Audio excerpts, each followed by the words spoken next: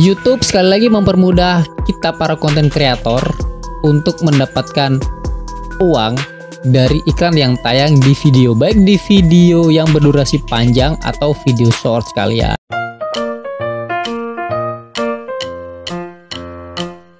Oke guys, balik lagi di TP Channel dan kita lagi-lagi bakalan bahas serba-serbi YouTube ya, tutorial YouTube, pengalaman di dunia YouTube dan semua hal-hal yang berbau dengan konten kreator YouTube. Apalagi sesuai info kemarin ya di 1 Februari bakalan deal ya, kita bakalan dapat pendapatan iklan dari YouTube Short yang tayang yang udah ditonton ya. Jadi gini guys ya. YouTube ini baik hati banget Kemarin monetisasi itu hanya berlaku buat kreator YouTube ya dengan video-video yang berdurasi panjang gitu ya. Dan sekarang nggak hanya YouTube kreator biasa, YouTube kreator short pun ya dapat pendapatan iklan dari situ. Tapi pasti dengan syarat tentu aja. Syaratnya yang pertama kalau untuk monetisasi berdurasi panjang untuk YouTube konten kreator biasa 1000 subscriber sama 4000 jam tayang itu udah pasti ya Terus kalau untuk kreator shorts Gak harus 4000 jam tayang juga bisa guys ya Ya nanti kita bahas ya infonya lebih detail Kita lihat dulu videonya guys ya Nanti kita uraikan satu persatu oke okay? Kreator Shorts kini dapat mengikuti dan mendapatkan penghasilan dari program partner YouTube. Mari kita pelajari bagaimana kreator Shorts dapat bergabung ke program partner YouTube, cara kerja pembagian pendapatan iklan di Shorts, dan cara melihat pendapatan Shorts dan performa Shorts Anda. Oke, bakal ada tiga poin penting yang bakalan kita dapetin nih dari informasi ini guys ya. Nanti kita jabarkan satu persatu, oke? Okay? Pertama, bagaimana kreator Shorts dapat bergabung ke program partner YouTube? Kreator Shorts dapat mengajukan permohonan untuk mengikuti program ini setelah mencapai 1000 subscriber dan 10 juta penayangan Shorts publik yang valid dalam 90 hari terakhir. Atau, kreator dapat memenuhi syarat setelah mencapai 1000 subscriber dan 4000 jam waktu tonton publik yang valid untuk video berdurasi panjang. Oke okay guys, kita sudah pada tahu persyaratan untuk bergabung menjadi program partner YouTube atau biar video kalian dapat iklan, tayang iklan dan bisa dimonetisasi itu yang jelas harus 1000 subscriber sama 4000 jam tayang. Itu untuk video YouTube berdurasi panjang, guys ya. Tapi kalau untuk YouTube Short itu kalian nggak harus 4000 jam tayang udah bisa, guys ya. Cukup 1000 subscriber sama 10 juta penayangan tadi guys ya dibahas ya. Jadi kalau nggak 4000 jam tayang nggak masalah ya. Tapi diganti dengan 10 juta penayangan. Syaratnya itu ya guys ya. Jadi ada dua cara dua jalur ya. Kalian mau pilih 4000 jam tayang atau 10 juta penayangan. Itu guys ya. Jadi semuanya harus valid ya. Kalau nggak valid ya tentu YouTube nggak bakalan menyetujui tetap sampai nunggu valid dulu guys baru kalian bisa bergabung ya guys ya dan Anda harus mengikuti kebijakan originalitas YouTube artinya Konten yang Anda upload haruslah konten original dan bukan konten milik orang lain. YouTube berencana memberikan reward pada konten original dan otentik yang memiliki nilai tambah bagi penonton. Meski bukan karya asli Anda, tetapi jika dimodifikasi secara kreatif dan pintar, misalnya dengan alat remix kami, konten tersebut akan berubah menjadi unik. Dengan kata lain, Nah, ini jelas guys ya.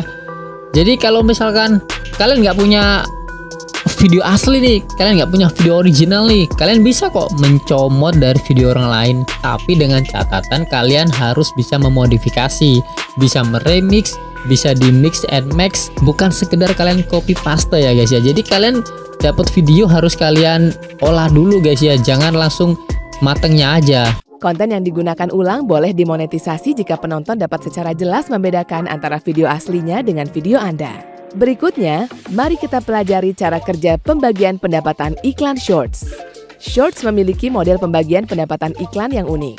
Berikut empat langkah untuk cara kerjanya. Pertama, pendapatan iklan feed Shorts ditampung. Setiap bulan, pendapatan dari iklan yang muncul di antara video shorts dalam feed shorts akan dijumlahkan dan digunakan untuk memberikan reward kepada kreator shorts yang melakukan monetisasi serta menutupi biaya lisensi musik. Ini cara kerjanya hampir sama sih guys ya dengan YouTube partner program yang kemarin itu ini sama saja. Jadi uh, ada sistem bagi hasil kalau kita menggunakan musik atau background orang lain jadi gitu ya. Mungkin channelmu nggak bakalan kena teguran tapi dari segi penghasilan akan terbagi. Ini sama persis dengan video YouTube yang berdurasi panjang guys ya. Ini sama. Dan separuhnya lagi disisihkan untuk membayar lisensi musik. Video shorts yang menggunakan dua track musik akan memperoleh sepertiga dari pendapatannya yang masuk ke tampungan kreator dan dua pertiganya masuk ke biaya lisensi musik. Kemudian, tampungan kreator akan dialokasikan kepada kreator. Dari tampungan kreator di setiap negara, kami akan mengalokasikan pendapatan kepada kreator shorts yang melakukan monetisasi berdasarkan pangsa total penayangan shorts di tampungan kreator. Anggaplah dari semua shorts yang diupload oleh kreator yang melakukan monetisasi, Anda memperoleh 5% dari jumlah penayangan yang memenuhi syarat. Kemudian, Anda akan mendapatkan alokasi 5% pendapatan dalam tampungan kreator, terlepas dari apakah Anda menggunakan musik atau tidak. Terakhir, penerapan pembagian pendapatan shorts. Kreator yang melakukan monetisasi akan memperoleh 45% dari pendapatan shorts yang dialokasikan. Misalnya, Anda akan mendapatkan 450 dolar jika menerima alokasi 1000 dolar dari tampungan kreator. Karena shorts tidak memiliki halaman tonton konvensional seperti video berdurasi panjang, pendekatan ini akan membantu kami memberikan reward kepada semua kreator yang melakukan monetisasi dan memanfaatkan shorts, bukan hanya kepada mereka yang memiliki video yang diputar setelah iklan. Dan sebagai manfaat tambahan, model ini memungkinkan kreator mewujudkan visi kreatif tanpa khawatir dengan hak cipta atau penghasilan yang lebih sedikit karena penggunaan musik. Kami tidak sabar untuk melihat apa yang bisa dilakukan kreator shorts dengan sumber pendapatan baru ini. YouTube sekali lagi mempermudah kita para konten kreator untuk mendapatkan uang dari iklan yang tayang di video baik di video yang berdurasi panjang atau video short sekalian ya. Karena YouTube memberikan dua opsi untuk bergabung menjadi program partner YouTube ya. Dua opsi untuk kita bisa memonetisasi video YouTube kita.